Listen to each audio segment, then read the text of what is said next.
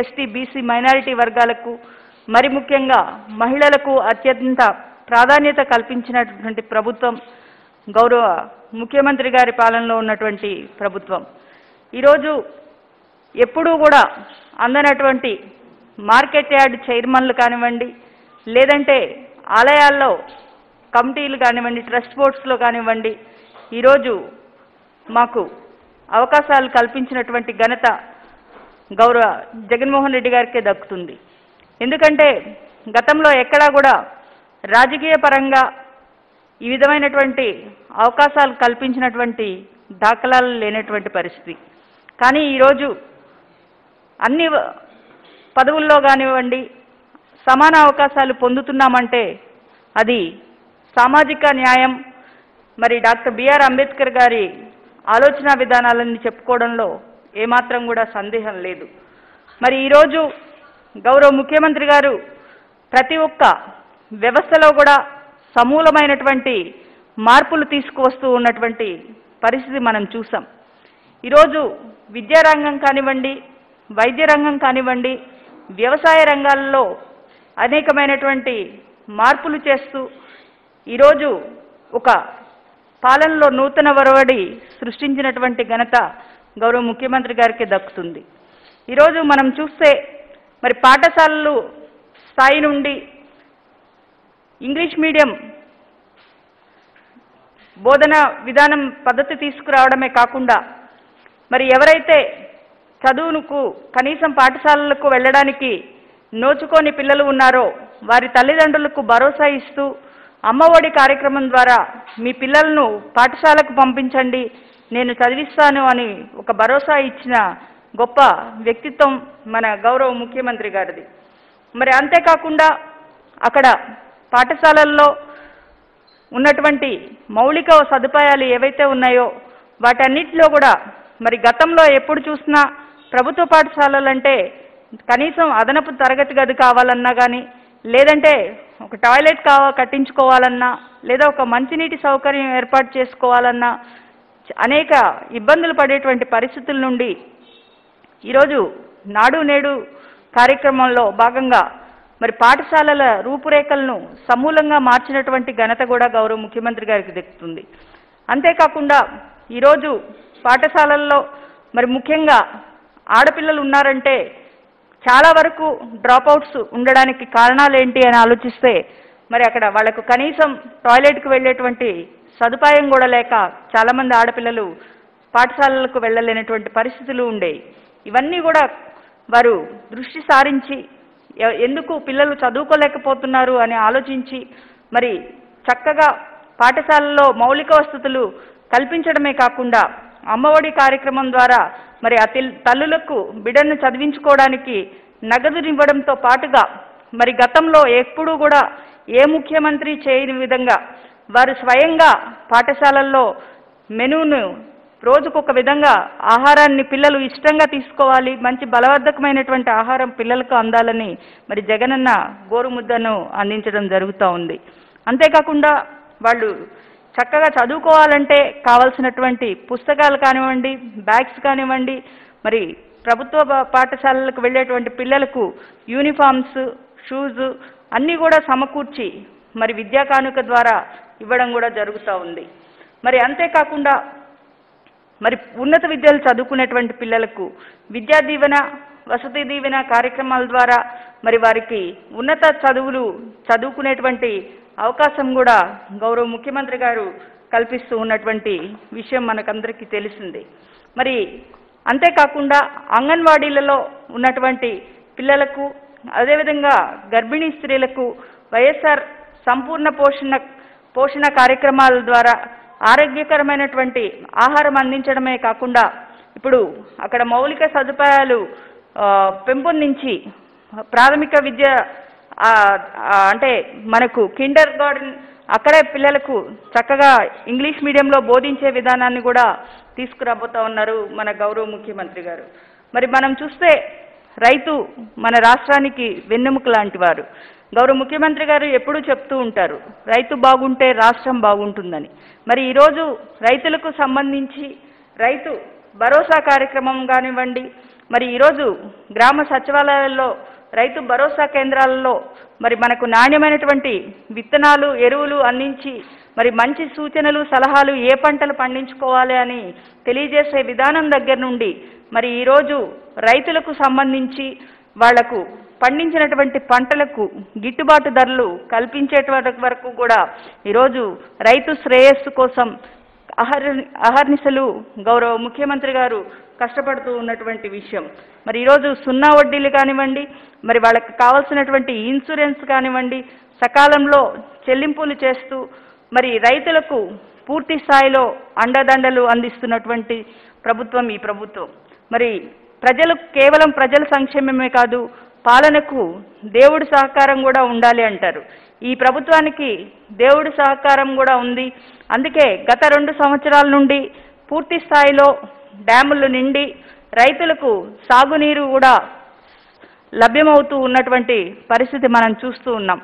మరి అంతేకాకుండా పండించినటువంటి పంటలకు గిట్టుబాటు ధరలు కూడా కల్పించి మనకు రైతు భరోసా కేంద్రాలలో మరి పంట కొనుగోలు చేసే విధానాన్ని కూడా తీసుకురావడమే కాకుండా భవిష్యత్తులో జనతా బజార్లు మరి రైతులు పండించినటువంటి పంటలు అక్కడే మనకు నాణ్యమైనటువంటి ధరకు దొరికే విధంగా కూడా మరి గౌరవ ముఖ్యమంత్రి గారు ఆలోచనలు చేస్తూ ఉన్నటువంటి పరిస్థితి. మరి మనం చూస్తే ప్రపంచమంతా కూడా కరోనా మహమ్మారిని బారి బారిన పడిన విషయం మనకు తెలుసు. మరి మనకు ఈ క- కోవిడ్ వచ్చిన సమయంలో ఒక్క టెస్ట్ చేయించాలన్నా కానీ మనకు పూణే పంపించాల్సినటువంటి పరిస్థితి ఉండేది. మరి ఈరోజు రాష్ట్రంలో దాదాపు ఒకే రోజు లక్ష వైద్యులకు పరీక్షలు చేసేటువంటి సామర్థ్యాన్ని పెంచడమే కాకుండా మనకు ఈరోజు నలభై ఐదు వేల ఆక్సిజన్ బెడ్స్ అందుబాటులోకి తీసుకురావచ్చి మరి కోవిడ్ కేర్ సెంటర్లు పటిష్టంగా మరి సమర్థవంతంగా నిర్వర్తిస్తూ మరి అంతేకాకుండా ఎవరైతే కరోనాతో బారిన పడిన పేషెంట్లకు సకాలంలో వైద్య సేవలు అందించడమే కాకుండా ఆరోగ్యశ్రీలో చేర్పించినటువంటి ఘనత కూడా గౌరవ ముఖ్యమంత్రి గారికి దక్కుతుంది. అంతేకాకుండా ఈరోజు వైద్యపరంగా కూడా మరి రాష్ట్రంలో అన్ని హాస్పిటల్స్ని బలోపేతం చేసే కార్యక్రమంలో నాడు నేడు తీసుకోవడమే కాకుండా మరి ఈరోజు మన రాష్ట్రానికి సంబంధించి ప్రతి ఒక్క పార్లమెంటరీ నియోజకవర్గానికి ఒక మెడికల్ కాలేజీ ఉండే విధంగా మరి గౌరవ ముఖ్యమంత్రి గారు చర్యలు తీసుకొని మన రాష్ట్రానికి పదహారు కొత్త మెడికల్ కాలేజీలను అందుబాటులోకి కూడా తీసుకురాబోతా ఉన్నారు. మరి ఇవన్నీ కూడా వైద్య రంగాన్ని బలోపేతం చేస్తూ మరి వారు తీసుకుంటున్నటువంటి చర్యల వల్ల రాబోయేటువంటి రోజుల్లో మనం చూస్తున్నాం ఏదైనా పెద్ద హాస్పిటల్కి వెళ్ళాలంటే పక్క రాష్ట్రాలకు వెళ్ళాల్సినటువంటి పరిస్థితుల నుండి ఈరోజు ఇక్కడే బలోపేతం చేసేలాగా మెడికల్ హబ్బులను కూడా తీసుకురావడానికి గౌరవ ముఖ్యమంత్రి గారు కార్యాచరణ తీసుకోవడం కూడా మనందరికీ తెలిసినటువంటి విషయమే. మరి అంతేకాకుండా ఈరోజు మహిళలకు సంబంధించి మన ప్రభుత్వంలో మహిళలే మహారాణులు అని చెప్పుకోవడానికి ఏమాత్రం సందేహం లేదు. ఎందుకంటే దాదాపు ఒక పదహారు పథకాల ద్వారా యాభై ఆరు లక్షల ఎనిమిది వందల డెబ్బై ఐదు మంది మహిళలకు నేరుగా వారి ఖాతాల్లో యాభై ఆరు లక్షల ఎనిమిది వందల డెబ్బై ఐదు కోట్ల రూపాయలు వారి ఖాతాల్లో జమ కావడం జరిగింది.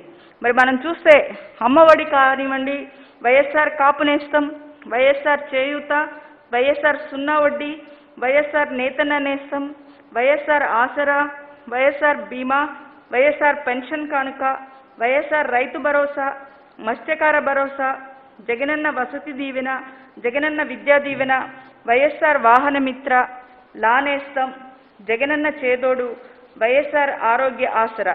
ఈ పథకాల ద్వారా దాదాపుగా మనకు ప్రత్యక్షంగా యాభై ఆరు వేల ఎనిమిది వందల డెబ్బై ఐదు కోట్ల రూపాయలు నేరుగా మహిళల ఖాతాల్లోకి జమ చేరిందే కాక పరోక్షంగా జగనన్న గోరుముద్ద వైఎస్ఆర్ సంపూర్ణ పోషణ వ- వైఎస్ఆర్ జగనన్న ఇళ్ళ పట్టాలు వైఎస్ఆర్ ఆరోగ్యశ్రీ జగనన్న విద్య కానుక పథకాల ద్వారా మొత్తం ముప్పై ఒక్క వేల నూట అరవై నాలుగు కోట్ల రూపాయలు మరి మనకు ఇండైరెక్ట్గా వాళ్ళ ఖాతాల్లోకి లబ్ధి చేకూరినటువంటి పరిస్థితి.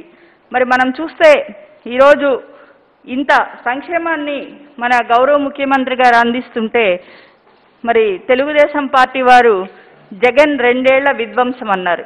కానీ ఈరోజు ప్రజలు అనుకుంటుంది ఏంటంటే జగన్ గారి పాలనలో రెండేళ్ళ సంక్షే సంక్షేమం విస్ఫోటనం చెందింది అనుకుంటున్నారు ఎందుకంటే గతంలో ఎన్నడూ లేని విధంగా సంక్షేమ కార్యక్రమాలు మనం గతంలో ఇచ్చినటువంటి హామీలు చూసామంటే మనకు పూర్తి స్థాయిలో ఆరు వందల హామీలు ఇచ్చి ఒక్క హామీ కూడా నెరవేర్చినటువంటి పరిస్థితి గతంలో ఉంటే ఈరోజు మనకు మేనిఫెస్టోలో ఇచ్చినటువంటి దాదాపు తొంభై నాలుగు పాయింట్ ఐదు శాతం హామీలు రెండేళ్ళ కాలంలో నెరవేర్చినటువంటి ఘనత గౌరవ ముఖ్యమంత్రి గారికి దక్కుతుంది. ఎందుకంటే ఓట్లు వేశారు అధికారాన్ని ఇచ్చారు తర్వాత మనం ప- పట్టించుకోపోయినా పర్వాలేదు అని వాళ్ళు ఆలోచిస్తే ఈరోజు మనం ఇచ్చిన హామీకి కట్టుబడి ప్రతి ఒక్కటి కూడా నెరవేర్చాలి అన్న మంచి సంకల్పంతో పనిచేస్తున్నటువంటి వ్యక్తి గౌరవ ముఖ్యమంత్రి గారు. ఎందుకంటే పేదలకు ఓన్లీ ఎన్నికలకు సమయంలో వాళ్ళని ఓటు బ్యాంకుగా చూసే వాళ్ళ పాలన ఎలా ఉంది? ఈరోజు మరి ఎవరైతే ప్రజలు ఉన్నారో వాళ్ళని సొంత కుటుంబ సభ్యుల్లాగా చూసుకుంటే వాళ్ళకి కావాల్సినటువంటి సంక్షేమం ఏ విధంగా చేయాలి అని ఆలోచించేటువంటి ఒక గొప్ప వ్యక్తిత్వంతో ఉన్నటువంటి పాలన ఏ విధంగా ఉంటుంది అన్నది ఈ రెండేళ్ళ స- కాలంలో మరి ప్రజలకు తెలుస్తూ ఉంది. ఎందుకంటే మనం చూస్తే గతంలో పాలన మీద అసంతృప్తి ఉండి మరి ఎప్పుడు ప్రజల్లోకి వెళ్ళినా కానీ మరి ఎవరైనా ఒక ఇళ్ళ పట్టా ఇవ్వండి అన్నా లేదంటే ఒక ఉద్యోగం అడిగినా మనం చెప్పలేనటువంటి పరిస్థితి. ఈరోజు చూస్తే మరి వారు నాలుగు లక్షల మంది నిరుద్యోగులకు ఈరోజు అవకాశం కల్పించి మరి వారి ద్వారా ఈరోజు ప్రతి కుటుంబానికి సంక్షేమాన్ని చేరవేస్తున్నటువంటి ఘనత గౌరవ ముఖ్యమంత్రి గారికి దక్కుతుంది. మరి ఈ రెండేళ్ళ పాలనలో మరి ప్రజలందరూ కూడా సంక్షేమాన్ని చవిచూసినటువంటి పరిస్థితులే కాకుండా మరి గతంలో ఎప్పుడైనా ఒక ఇళ్ళ పట్ట కావాలి అంటే మరి కళ్ళు కాయలు కాచి ఇలా ఎదురు చూసినటువంటి పరిస్థితులు ఉండేవి మరి ఈరోజు ముప్పై లక్షల మందికి నేరుగా ఇళ్ళ పట్టాలు అందించినటువంటి ఘనత గౌరవ ముఖ్యమంత్రి గారికి దక్కుతుంది. చిన్న ఉదాహరణ చెప్పాలంటే ఒక కుటుంబానికి కంది ఆదిలక్ష్మి గారు ఈమె మండ్రంగి గ్రామ సచివాలయం శ్రీకాకుళం జిల్లా.